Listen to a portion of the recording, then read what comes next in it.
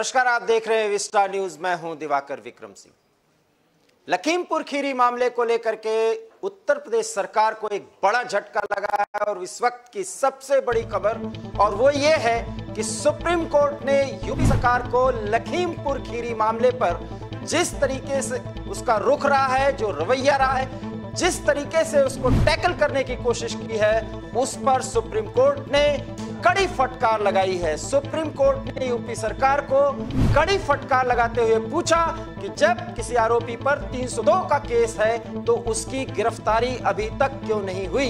हम आपको बता दें कि कल 11 बजे तक पेश होंगे। आशीष मिश्र, ये हरीश सालवे जो उत्तर प्रदेश सरकार के वकील है, उन्होंने कहा, और 20 अक्टूबर को सुप्रीम कोर्ट इस मामले में अगली सुनवाई करेगा। तो ये इस वक्त की सबसे बड़ी खबर, और वो ये है कि लखीमपुर खीरी मामले में जिस तरीके से आशीष शुक्ला को आरोपी बनाया गया है और 303 302 की धारा लगी है उनके ऊपर तो इसको लेकर के सुप्रीम कोर्ट ने पूछा कि आप क्या कर रहे हैं? कम से कम आरोपी को गिरफ़्तार करना चाहिए था जब इस तरह की धारा के तहत मुकदमा दर्ज हुआ है तो आपने गिरफ्तारी नहीं की। इस पर उत्तर प्रदेश के सरकार के वकील हरीश सालवे ने कहा कि उनको आज पेशी उनकी होनी थी, लेकिन वो नहीं हो पाए। कल तक वो पेश होंगे। और इसके बाद सुप्रीम कोर्ट ने कहा कि इस मामले की सुनवाई अगले 20 अक्टूबर को होगी। इस संदर्भ में हमारे साथ सुप्रीम कोर्ट के वरिष्ठ अधिवक्ता हमारे साथ जुड़ रहे हैं चड्ढा जी। और आपसे सवाल सर यही है कि सुप्रीम कोर्ट ने जो फटकार लगाई है, इसके मायने क्या है? सुप्रीम कोर्ट ने बहुत दिवाकर विक्रम जी बहुत स्पष्ट शब्दों में और आपने बिल्कुल सही शब्द का चयन किया कि फटकार लगाई है। जब सुप्रीम कोर्ट की तीन जजों की जो ये खंडपीठ बैठी थी उन्होंने पूछा कि क्या एक साधारण मामला जिसमें कि एक मर्डर होता है और थाने में रिपोर्ट लिखी जाती है तो क्या किया जाता है? हरीश सालवे जो कि उत्तर प्रदेश सरकार को रिप्रेजेंट कर रहे थे, बहुत बड़े वकील हैं। उन्होंने कहा कि इसमें हमें गोली का कोई सबूत नहीं मिला कि गोली चली है। हम्म। कोर्ट ने कहा गोली चलना ना चलना नहीं हमारे सवाल का जवाब दीजिए और हमें बताइए क्या किया जाता है। तो हरीश सालवे जी ने बड़े स्पष्ट शब्दों में स्वीकार किया कोताही हुई है। हम्म। कोताही हुई है। यानी कि जो जो जो करना चाहिए था पुलिस ने वो किया नहीं है।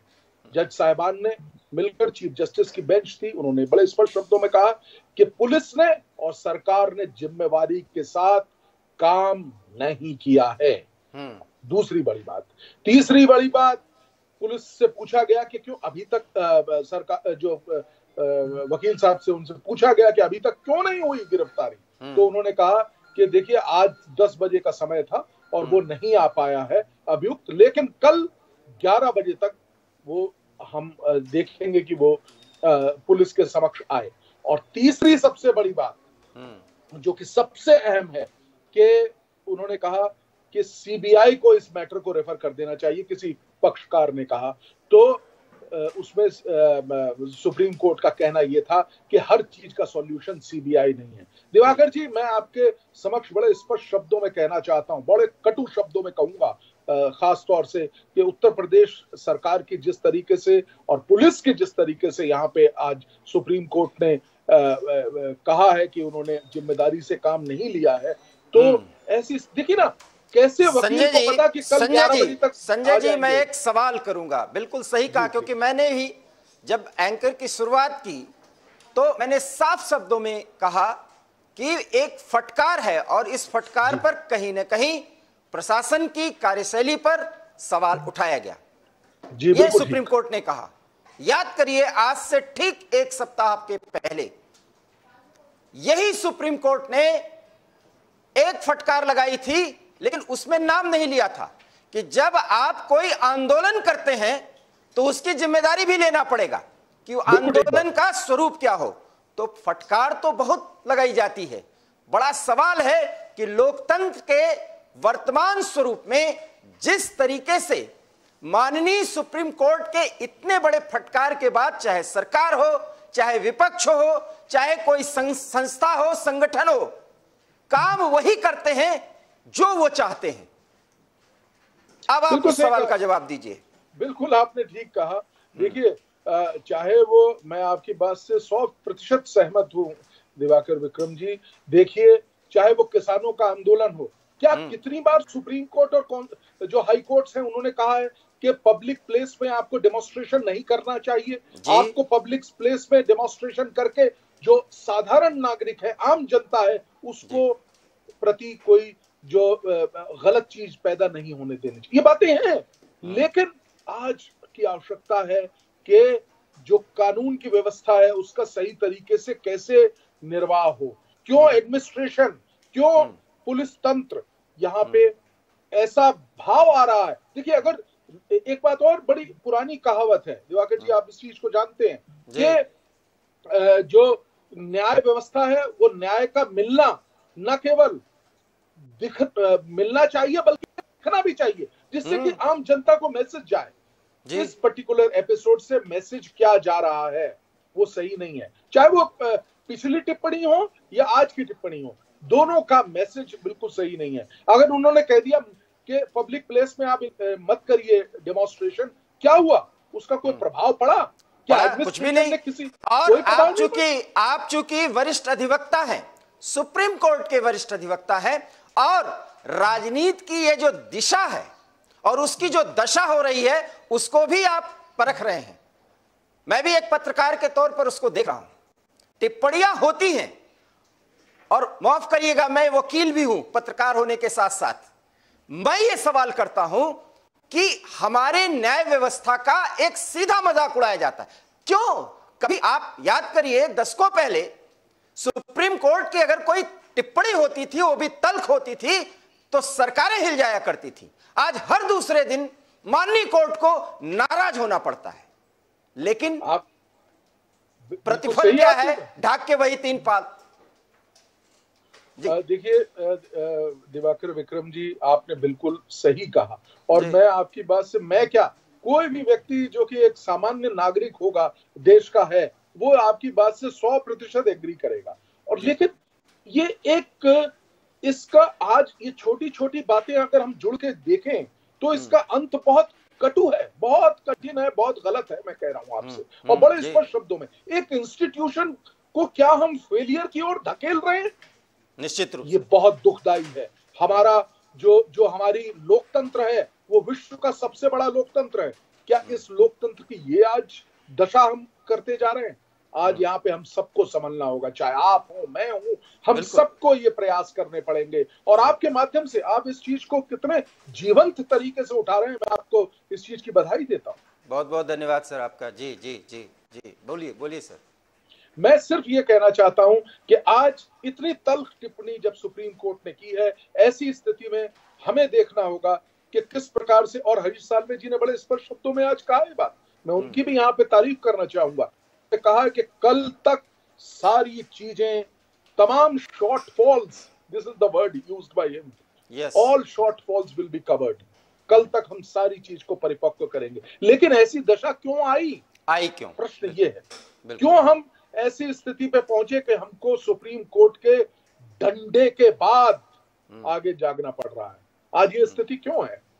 ये एक बहुत बड़ा प्रश्न चिन्ह है। मेरे को ऐसा लगता है कि हम सबको मिलके इस तंत्र को अच्छा करना है बेहतरी की ओर देश को ले जाना निश्चित रूप से जनता इसको देखेगी और सब कुछ देखा जा रहा है चाहे आंदोलन हो चाहे विपक्ष का मूवमेंट हो चाहे सरकार का रवैया या रुख हो सब कुछ ये जनता देखती है और एक स्वस्थ लोकतंत्र में हमारी जनता या हम सभी नागरिक इतने जागरूक हैं कि हम किसी की कार्य प्रणाली को सही तरीके से देखते हैं समझते हैं परखते हैं और उसके पीछे की रणनीति और राजनीति को भी हम समझ रहे हैं। सवाल बड़ा है कि अगर कोई आरोपी है 302 के तहत उसको आरोपित किया गया है तो गिरफ्तारी में अगर कोई अड़चन आ रही थी तो वो क्या थी और गिरफ्तारी क्यों नहीं हुई? पहली बात। दूसरी बात, क्या इसमें सिर्फ़ एक राजनीतिक मायने ही है या प्रशासन की तरफ़ से, जो पुलिस प्रशासन की तरफ़ से, या हरीश साल्वे को जो इनपुट दिया गया, जो कि वो कोर्ट में पैरवी कर रहे थे उत्तर प्रदेश सरकार की कहीं कोई कमी रह गई थी? क्योंकि हमें प्रशासन की बात को भी समझना चाहिए पक्ष तो हमें सब समझना चाहिए। बिल्कुल कोर्ट ने देखिए मुझे ऐसा कम लगता है कि कोई उनको बताने में प्रकार की कमी रही होगी। दैट इज़ द रीजन उन्होंने स्पष्ट शब्दों में कहा कि कल 11 बजे तक वो पुनः वो हम लोगों के समक्ष आएगा जो मुख्य अभियुक्त है। और दूसरा ये भी उन्होंने कहा कि अगर किसी भी तरीके के जो ये शॉर्टफॉल्स हैं इन शॉर्ट शॉर्टफॉल्स को हम निश्चित तौर पे बड़ी ज़िम्मेदारी से उन्होंने कहा और उनकी बात को कोर्ट ने परिपक्वता से लिया। और एक बात मैं और बताऊँ इसी वजह से कोर्ट ने क्योंकि अब दशहरे की छुट्टियाँ भी हैं उसके हम्म। बाद इमीडिएटली रीओपनिंग जब होगी कोर्ट की 20 तारीख को इस मैटर को सुनने के लिए आगे भी रखा है। तो मुझे ऐसा लगता है तब तक चीज़ें काफ़ी सामान्य हो जाएँगी सेटल्ड हो जाएँगी। और इस इस मुकदमे का जो इन्वेस्टिगेशन है वो भी चलेगा। और एक चीज़ और के देखिए कोर्ट ने ये भी कहा कि हर चीज़ का सॉल्यूशन सीबीआई नहीं है। और सीबीआई के पास ये केस जाना नहीं चाहिए क्योंकि इसका भी एक कारण है। ये हम्म। कोर्ट ने छुपे शब्दों में कुछ बात कहने का भी प्रयास किया है। तो हम्म। जिसे हम आई थिंक वो चीज़ भी देखेंगे। और मुझे अब लगता है जबकि कोर्ट ने एक बड़े स्पष्ट रूप से इस बात को इंकित किया है इस बात को पेश किया है तो मुझे नहीं लगता कि किसी भी प्रकार से सरकारें इस चीज़ को लाइटली लेंगे। जी। ऐसा सरकार इसको लाइट नहीं ले सकती लेकिन एक सब खबर भी हम आपको बता दें कि नोटिस लगा दिया गया है आशीष मिश्रा के घर के बाहर और 11 बजे तक वो पेश होंगे ऐसा बताया जा रहा है। तो उसकी जो प्रक्रिया है सर उसके आगे क्या होगा?